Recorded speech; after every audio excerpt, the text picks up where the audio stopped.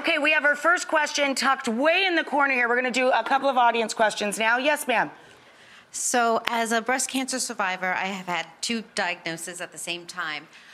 The scariest part for me was ending treatment and being mm. sent out on your own. What do you tell your patients as they end treatment of how they can stay on the 60% side of not getting it again rather than the 40% chance of getting it again? I think the number is coming down though, so there's good news there on the recurrence rates. But I do have an entire chapter 10 dedicated to life after treatment. And what I would suggest to you and to any woman who's ever been affected by this disease is to follow my 60 seconds. I want you to get back into all of the things that I say will help contribute to preventing breast cancer. You can't truly prevent all of it.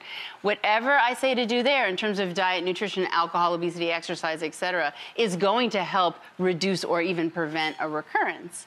And then one of the things that's largely neglected, I think, in medical literature is the there's no emphasis on social support and love and connectedness. But there is data to show that people live happier, healthier, and longer when they have love in their lives.